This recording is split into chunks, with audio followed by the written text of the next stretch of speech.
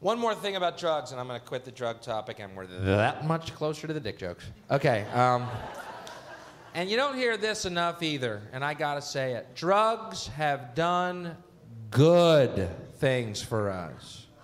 Yeah. And if you don't believe they have, I want you to do me a favor. Go home tonight, take all your albums, your tapes, and your CDs, and burn them.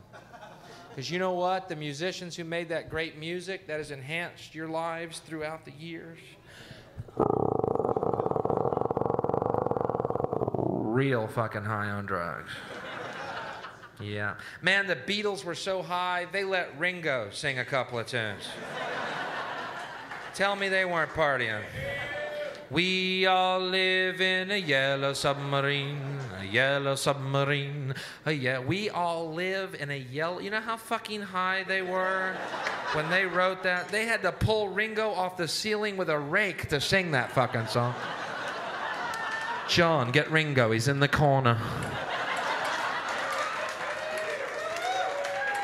Pull him down. Wow, look at him scoot. Grab him, John. He's got a song he wants to sing us. Something about living in a yellow tambourine or something. Ringo, Yoko's gone. Come down, we can party again. They were real high. They wrote great music. Drugs had a positive effect. End of story. No, let's don't end the story. Let's extend the theory one more step. I feel the more proof, the better acceptance I might get for my little theory. These musicians today that don't do drugs and in fact speak out against them, we're rock against drugs.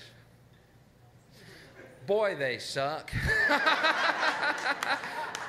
Big old ballless, soulless suck jobs, every one of them, aren't they? Corporate little bitches, one and all. Sucking Satan's cock every morning when they wake up.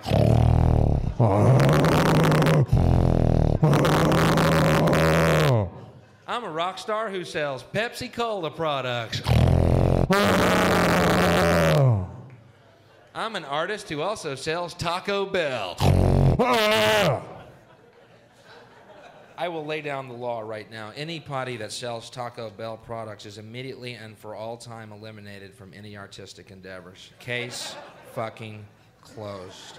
You may shit Mona Lisa's out your ass as a party trick. You're a fucking evil piece of shit. End of story. The end. The story just ended. There will be no further discussion.